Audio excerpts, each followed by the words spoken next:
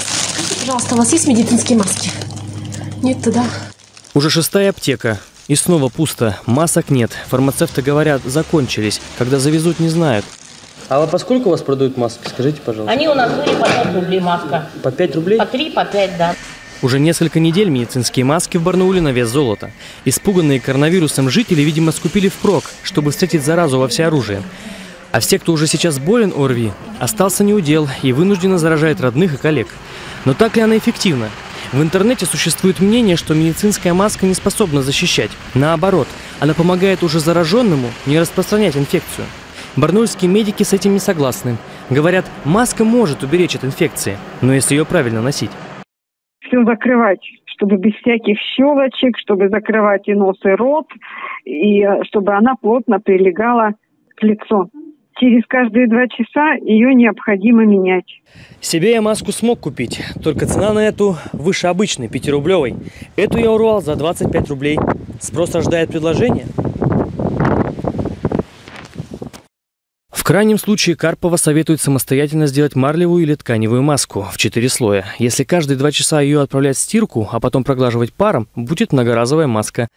Сейчас стоит быть особенно бдительным. На выходных в Кузбассе выявили двух зараженных коронавирусом. В понедельник Кемеровская школа закрыта на карантин, малышей не берут в детсад. Всех, у кого появились симптомы болезни, отпускают с работы в больницу по продуктам. Ну, по крайней мере, сегодня в магазин ходили, вот, ажиотаж э, действительно начался. То есть скупают полок консервы, крупы, там вот это вот все, гречку, то ли панику действительно вот. Что выгребается все с супермаркетов, что обильно и массово скупаются продукты долго, долгого, долгого срока годности. Маловероятно и, наверное, больше это утка, чем правда. Потому что но сознательность пока берет вверх. В Новокузнецке ситуация спокойнее. Тем не менее, в области объявлена повышенная готовность к коронавирусу. Кстати, за границей из-за этой эпидемии вовсе не паникуют. Так в Таиланде туристической мекке россиян в масках ходят только в основном местные жители, и то из-за большого числа туристов.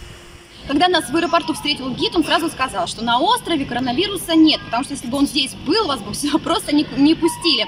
А, заразившиеся есть, но они находятся сейчас в Бангкоке, и как бы вся, вся ситуация под контролем. Кстати, маски там наравне с продуктами продают в обычных магазинах. Предметы гигиены ближе к потребителям. Напомним, сейчас общее число инфицированных в мире 153 тысячи человек.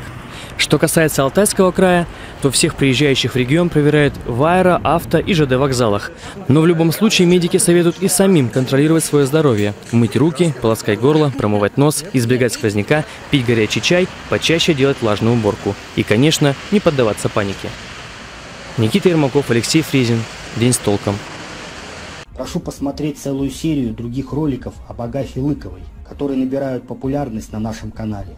Ссылки оставлю в описании и в верхнем закрепленном комментарии. Под одним из роликов обсуждается двойное убийство, которое совершил Александр Бесштанников, бывший послушник Агафьи Лыковой, который помогал ей по хозяйству в 2014 году и жил у нее на заимке два месяца.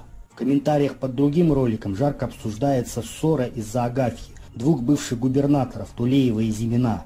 Под третьим роликом обсуждается новоявленный племянник отшельницы – который неизвестно откуда появился и прилетел к ней на вертолете. Посмотрите эти видео. Прошу подписаться на канал и поделиться этим роликом во всех ваших социальных сетях кнопкой под видео.